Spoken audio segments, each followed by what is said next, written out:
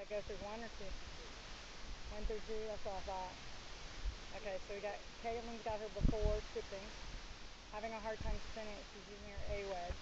Oh, that's what I was afraid of.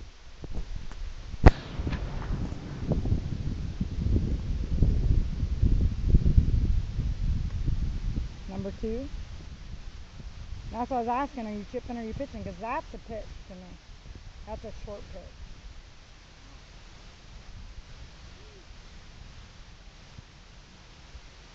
That was yours too? Yeah. Yeah. Alright, one more.